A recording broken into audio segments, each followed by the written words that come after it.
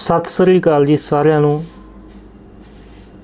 ਮੈਂ ਤੁਹਾਡਾ ਆਪਣਾ ਸੇਵਕ ਸਿੰਘ ਅਤੇ ਤੁਸੀਂ ਵੇਖ ਰਹੇ ਹੋ ਸੇਵਕ ਸਿੰਘ YouTube ਚੈਨਲ। ਅੱਜ ਦੀ ਵੀਡੀਓ ਵਿੱਚ ਆਪਾਂ ਗੱਲ ਕਰਾਂਗੇ ਜੀ ਕਿ ਜੋ ਬਿਜਲੀ ਮਹਿਕਮੇ ਵੱਲੋਂ ਆਪਾਂ ਨੂੰ ਬਿੱਲ ਆਉਂਦੇ ਆ, ਉਸ ਬਿੱਲ ਦੇ ਵਿੱਚ ਕੀ ਕੁਝ ਲਿਖਿਆ ਹੁੰਦਾ ਪੂਰਾ ਪੂਰਾ ਆਪਾਂ ਪੜਾਂਗੇ ਇਹ ਕੋਈ ਬਹੁਤ ਵੱਡੀ ਗੱਲ ਨਹੀਂ ਕਿ ਬਿੱਲ ਕਿਸ ਤਰ੍ਹਾਂ ਪੜਿਆ ਜਾਵੇ। ਪਰ ਮੈਨੂੰ ਕਾਫੀ ਲੋਕਾਂ ਦੇ ਵੀਰਾਂ ਭੈਣਾਂ ਦੇ ਕਮੈਂਟ ਆਏ ਸੀ ਕਿ ਸਾਨੂੰ ਇੱਕ ਵੀਡੀਓ ਇਹੋ ਜੀ ਬਣਾ ਕੇ ਦਿੱਤੀ ਜਾਵੇ, ਜਿਸ ਦੇ ਉੱਪਰ ਕਿ ਪੂਰੇ ਬਿੱਲ ਉੱਪਰ ਹੀ ਵੀਡੀਓ ਬਣੀ ਹੋਵੇ ਕਿ ਇਸ ਵਿੱਚ ਕੀ ਕੀ ਲਿਖਿਆ ਜਾਂਦਾ। ਜਦੋਂ ਆਪਣੇ ਕੋਲ ਬਿੱਲ ਆਉਂਦਾ ਤੇ ਆਪਾਂ ਦੋ ਤਿੰਨ ਚੀਜ਼ਾਂ ਇਸ ਦੀਆਂ ਮੇਨ ਦੇਖਦੇ ਹਾਂ ਕਿ ਇਸ ਦੀ ਜੋ ਡਿਊ ਤਰੀਕ ਆ, ਇਹ ਕਦੋਂ ਤੋਂ ਕਦੋਂ ਆ ਤੇ ਜਾਂ ਇਸ ਦਾ ਜੋ ਬਿੱਲ ਆਪਣਾ, ਉਹ ਕਿੰਨਾ ਆਇਆ? ਦੋ ਤਿੰਨ ਚੀਜ਼ਾਂ ਹੀ ਆਪਾਂ ਦੇਖਦੇ ਹਾਂ, ਵੱਧ ਤੋਂ ਵੱਧ ਆਪਾਂ ਦੇਖ ਲੈਂਦੇ ਹੁੰਦੇ ਆ ਕਿ ਜੋ ਆਪਣਾ ਪਿਛਲੇ ਮਹੀਨੇ ਕਿੰਨੀਆਂ ਯੂਨਿਟਾਂ ਖਪਤ ਹੋਈਆਂ। ਲੇਕਿਨ ਇਸ ਵਿੱਚ ਹੋਰ ਕਾਫੀ ਕੁਝ ਲਿਖਿਆ ਹੁੰਦਾ, ਜਿਸ ਦੇ ਬਾਰੇ ਮੈਂ ਇਹ ਵੀਡੀਓ ਬਣਾਉਣ ਲੱਗਾ। ਜਿਸ ਕਰਕੇ ਮੈਂ ਇਹ ਵੀਡੀਓ ਬਣਾਉਣ ਲੱਗਾ ਜੀ। ਤੇ ਆਪਾਂ ਉੱਪਰ ਤੋਂ ਸ਼ੁਰੂ ਕਰਦੇ ਹਾਂ। ਸਭ ਤੋਂ ਪਹਿਲਾਂ ਤਾਂ ਇਹ ਜੋ ਦਫ਼ਤਰ ਹੈ ਇਹਨਾਂ ਦਾ ਹੈੱਡ ਆਫਿਸ ਪਟਿਆਲਾ, ਉਸ ਦਾ ਐਡਰੈਸ ਆ website phone number GST number email ਇਹ ਸਾਰਾ ਪੂਰੇ ਦਾ ਪੂਰਾ ਵੇਰਵਾ ਇਹਨਾਂ ਦਾ ਬਿਜਲੀ ਮਹਿਕਮੇ ਦਾ ਹੋ ਗਿਆ ਜੀ। ਉਸ ਤੋਂ ਥੱਲੇ ਆਉਂਦਾ ਜੀ ਸਬ ਡਿਵੀਜ਼ਨ ਨਾਮ ਅਤੇ ਕੋਡ। ਸਬ ਡਿਵੀਜ਼ਨ ਦਾ ਨਾਮ ਹੈ ਤਲਵੰਡੀ ਭਾਈ, ਕੋਡ ਹੈਗਾ ਇਸ ਦਾ M65 ਜਿਵੇਂ ਕਿ ਆਪਣਾ ਇਹ ਅਕਾਊਂਟ ਨੰਬਰ ਹੈ M65 ਜਿੰਨੇ ਵੀ ਇਸ ਸਬ ਡਿਵੀਜ਼ਨ ਦੇ ਵਿੱਚ ਬਿੱਲ ਹੋਣਗੇ, ਉਸ ਦੇ ਅੱਗੇ M65 ਲਿਖਿਆ ਆਊਗਾ ਜਿਸ ਵੀ ਤੁਸੀਂ ਏਰੀਆ ਦੇ ਵਿੱਚ ਜੋ ਤੁਹਾਨੂੰ ਸਬ ਡਿਵੀਜ਼ਨ ਹੋਵੇਗਾ, ਉਸ ਦਾ ਕੋਡ ਸਭ ਤੋਂ ਅੱਗੇ ਲਿਖਿਆ ਜਾਂਦਾ। ਉਸ ਤੋਂ ਬਾਅਦ ਹੈ ਜੀ MB ਇਹ ਜੋ MB ਆ, ਇਹ ਆਪਣਾ ਪਿੰਡ ਦਾ ਨਾਮ ਆ ਜੀ। ਪਿੰਡ ਦਾ ਨਾਮ ਦਾ ਕੋਡ ਹੋ ਗਿਆ। ਉਸ ਤੋਂ ਅੱਗੇ ਆਪਣਾ ਇਹ ਸੀਰੀਅਲ ਨੰਬਰ ਆ ਨੰਬਰ ਜਿਵੇਂ ਕਿ ਇਹ ਬਿੱਲ ਨੰਬਰ ਆ 209 ਇੱਕ ਮੇਰੇ ਕੋਲੇ ਹੋਰ ਬਿੱਲ ਹੈ ਜੀ, ਉਹਦਾ ਬਿੱਲ ਹੈਗਾ 208 ਬੈਲ ਸਾਈਕਲ। ਬੈਲ ਸਾਈਕਲ ਤੀਜਾ ਇਹ, ਕਿਉਂਕਿ 6 ਸਾਈਕਲ ਹੁੰਦੇ ਆ ਇੱਕ ਸਾਲ ਦੇ ਵਿੱਚ। ਤੇ 6 ਬਿੱਲ ਆਉਂਦੇ ਆਪਾਂ ਨੂੰ ਇੱਕ ਸਾਲ ਵਿੱਚ ਦੀ, ਤੇ ਆਪਾਂ ਨੂੰ ਇਸ ਸਾਲ ਦਾ ਤੀਜਾ ਬਿੱਲ ਹੈ। ਇਸ ਲਈ ਇਹ ਬਿੱਲ ਸਾਈਕਲ ਲਿਖਿਆ ਗਿਆ। ਉਸ ਤੋਂ ਬਾਅਦ ਡਿਊ ਡੇਟ ਜੇ ਤੁਸੀਂ ਕੈਸ਼ ਦੇ ਨਾਲ ਜੇ ਤੁਸੀਂ ਕੈਸ਼ ਦੇ ਨਾਲ ਇਸ ਦੀ ਅਦਾਇਗੀ ਕਰਨੀ ਆ 19 ਤਰੀਕ ਆ ਜੀ, ਜੇ ਚੈੱਕ ਰਾਈ ਆ ਉਹ 17 ਉਸ ਤੋਂ ਬਾਅਦ ਆ ਗਿਆ ਜੀ, ਕੰਪਲੀਟ ਸੈਂਟਰ, ਜਿਸ ਵੀ ਤੁਸੀਂ ਸਬ ਡਿਵੀਜ਼ਨ ਵਿੱਚ ਉੱਥੇ ਕੰਪਲੀਟ ਕਰ ਸਕਦੇ ਹੋ, ਉਸ ਦਫ਼ਤਰ ਦਾ ਇੱਥੇ ਟੈਲੀਫੋਨ ਨੰਬਰ ਦਿੱਤਾ ਜੀ। ਹੁਣ ਉਸ ਤੋਂ ਅੱਗੇ ਹੈ ਜੀ, ਟੈਰਫ ਟਾਈਪ। ਇਹ ਕਨੈਕਸ਼ਨ ਹੁੰਦੇ ਆ ਜੀ, ਜਿਵੇਂ ਇਹ ਡੀਐਸ ਆ। ਡੀਐਸ ਤੋਂ ਹੈ ਕਿ ਡੋਮੈਸਟਿਕ ਸਪਲਾਈ। ਇੱਕ ਐਨਆਰਐਸ ਹੁੰਦਾ, ਜੋ ਕਿ ਦੁਕਾਨਾਂ ਵਿੱਚ ਜਾਂ ਜੋ ਆਪਣੀਆਂ ਦੁਕਾਨਾਂ ਛੋਟਾ ਮੋਟਾ ਕਾਰੋਬਾਰ ਆ, ਉਸ ਲਈ ਇਹ ਗਰੁੱਪ ਆਉਂਦਾ। ਟੈਰਫ ਟਾਈਪ ਐਨਆਰਐਸ ਇਹ ਦੁਕਾਨ ਦਾ ਬਿੱਲ ਆ ਇਹ ਘਰ ਦਾ ਬਿੱਲ ਆ ਜੀ। ਤੇ ਇੱਕ ਇਸ ਤੋਂ ਅੱਗੇ ਹੁੰਦੀ ਹੈ ਐਸਪੀ ਉਸ ਨੂੰ ਕਹਿੰਦੇ ਆ ਸਮਾਲ ਪਾਵਰ। ਉਸ ਤੋਂ ਅੱਗੇ ਹੈ ਜੀ ਲੋਡ। ਇਸ ਕਨੈਕਸ਼ਨ ਦਾ ਲੋਡ ਹੈ ਜੋ ਉਹ 0.46 ਅੱਧਾ ਕਿਲੋਵਾਟ ਆਪਾਂ ਕਹਿ ਸਕਦੇ ਹਾਂ ਜੀ। ਇਹ ਅੱਧਾ ਕਿਲੋਵਾਟ ਦਾ ਇਹ ਕਨੈਕਸ਼ਨ ਆ। ਕਿਉਂਕਿ ਇਸ ਉੱਪਰ ਸਿਰਫ ਇੱਕ ਪੱਖਾ ਬਲਬ ਵਗੈਰਾ ਹੀ ਚੱਲਦੇ ਆ, ਇਸ ਤੋਂ ਜ਼ਿਆਦਾ ਇਸ ਤੇ ਲੋਡ ਨਹੀਂ ਆ। ਥੋੜਾ ਲੋਡ ਹੈ।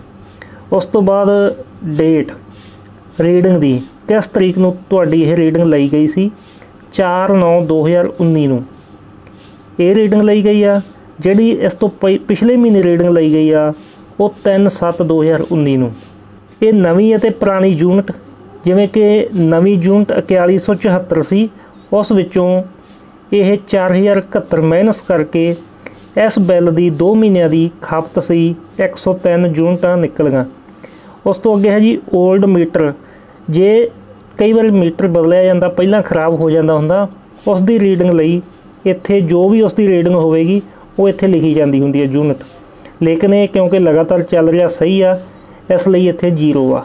ਜੇ ਮੀਟਰ ਚੇਂਜ ਕੀਤਾ ਹੋਵੇ, ਉਸ ਦੀ ਯੂਨਿਟ ਇੱਥੇ ਐਡ ਹੁੰਦੀ ਹੈ ਤਾਂ ਤੁਹਾਡੀਆਂ ਜੋ ਯੂਨਿਟਾਂ ਸੀ ਟੋਟਲ ਉਹ ਹੈ 103 ਸਿਕਿਉਰਿਟੀ ਜੋ ਭਰੀ ਵੀ ਆਪਾਂ 770 ਰੁਪਏ। ਬੈਲ ਸਟੇਟਸ ਓਕੇ ਆ ਜੀ। ਉਸ ਤੋਂ ਅੱਗੇ ਹੈ ਜੀ એનર્ਜੀ ਚਾਰਜ ਜੋ ਆਪਾਂ ਇਹ ਖਪਤ ਕੀਤੀ ਆ 103 ਯੂਨਿਟਾਂ ਦੀ, ਉਸ ਦੇ ਆਪਾਂ ਨੂੰ ਉਸ ਦੇ ਆਪਾਂ ਨੂੰ ਪੈਸੇ ਦੇਣੇ ਪਏ ਆ 514 ਰੁਪਏ। ਤੇ ਇਸ ਦੇ ਉੱਤੇ ਜੋ ਇਲੈਕਟ੍ਰਿਸਿਟੀ ਡਿਊਟੀ ਲੱਗੀ ਆ, ਉਹ ਹੈ 81 ਰੁਪਏ ਐਮਸੀ ਟੈਕਸ ਜਿਸ ਨੂੰ ਅੱਗੇ ਚੁੰਗੀ ਕਹਿ ਦਿੰਦੇ ਸੀ, ਉਹ ਹੁਣ ਨਹੀਂ ਲੱਗਦੀ। ਆਈਡੀਐਫ 27 ਰੁਪਏ।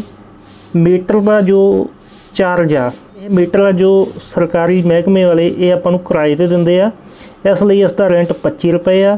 25 ਰੁਪਏ ਦੇ ਉੱਪਰ 4.5 ਰੁਪਏ ਜੀਐਸਟੀ ਲੱਗਾ ਹੋਇਆ ਜੀ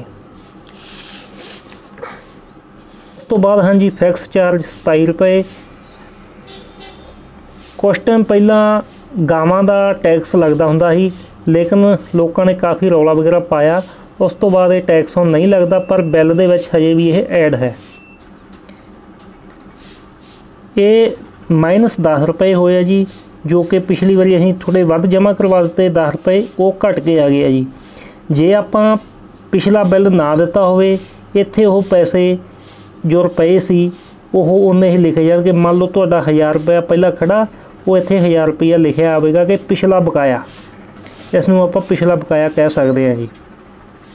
ਇਹ ਕੁਝ ਹੋਰ ਇਹਦੇ ਵਿੱਚ ਕੁਝ ਵਾਧਾ ਘਾਟਾ ਕੀਤਾ ਗਿਆ। ਰੁਪਈਆਂ ਦਾ ਜਿਵੇਂ ਮਾਈਨਸ 1 ਰੁਪਈਆ ਮਾਈਨਸ 3 ਉਹ ਬਿੱਲ ਦੇ ਵਿੱਚੋਂ ਘਟਾਏ ਗਏ ਆ। ਇਹ 561 ਰੁਪਏ ਬਣੇ ਆ ਜੀ।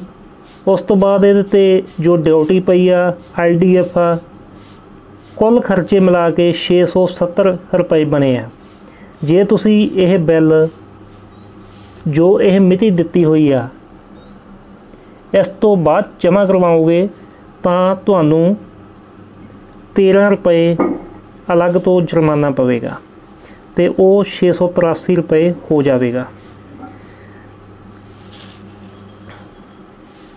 ਉਸ ਤੋਂ ਬਾਅਦ ਹੈ ਜੀ ਲਾਸਟ 6 ਸਾਈਕਲ ਇੱਕ ਸਾਲ ਵਿੱਚ ਦੀ 6 ਬਿੱਲ ਆਉਂਦੇ ਆ ਤੇ ਉਹਨਾਂ ਦੀਆਂ ਜੋ ਆਪਣੀ ਯੂਨਿਟਾਂ ਦੀ ਖਪਤ ਹੋਈ ਆ, ਉਹ ਇੱਥੇ ਲਿਖੀ ਆ ਜਿਵੇਂ ਇੱਕ ਸਾਈਕਲ ਦੇ ਵਿੱਚ 75 ਯੂਨਿਟਾਂ ਸੀ, ਦੋ ਦੇ ਵਿੱਚ 41 ਤਿੰਨ ਚ ਵੀ 41 36 46 ਅਤੇ 115 ਉਸ ਤੋਂ ਥੱਲੇ ਇਹ ਜੋ ਪਰਚੀ ਆ ਜੀ, ਇਹ ਰਸੀਦ ਆ, ਇਹ ਤੁਸੀਂ ਬਿੱਲ ਜਮ੍ਹਾਂ ਕਰਵਾਓਗੇ, ਇਸ ਉੱਪਰ ਮੋਹਰ ਲਗਾ ਕੇ ਉਹ ਰੱਖ ਲੈਂਦੇ ਆਪਣੇ ਕੋਲ ਬਿਜਲੀ ਮਹਿਕਮੇ ਵਾਲੇ। ਇਹ ਤੁਸੀਂ ਬਿੱਲ ਆਨਲਾਈਨ ਵੀ ਪੇ ਕਰ ਸਕਦੇ ਆ ਉਸ ਦੇ ਵਿੱਚ ਤੁਹਾਨੂੰ ਕੋਈ ਵੀ ਖਰਚਾ ਨਹੀਂ ਪੈਂਦਾ, ਬਲਕਿ ਥੋੜਾ ਬਹੁਤ ਕੈਸ਼ਬੈਕ ਵੀ ਆਉਂਦਾ ਹੈ।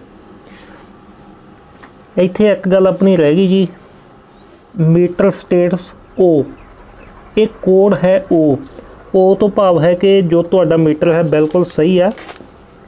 ਬਿੱਲ ਦੇ ਪਿਛਲੇ ਪਾਸੇ ਇਹ ਲਿਖਿਆ ਜਾਂਦਾ। ਇੱਥੇ ਤੁਹਾਨੂੰ ਮੈਂ ਦਿਖਾਉਣਾ। ਆ ਦੇਖੋ ਜੀ, O, ਮੀਟਰ ਠੀਕ ਹੈ।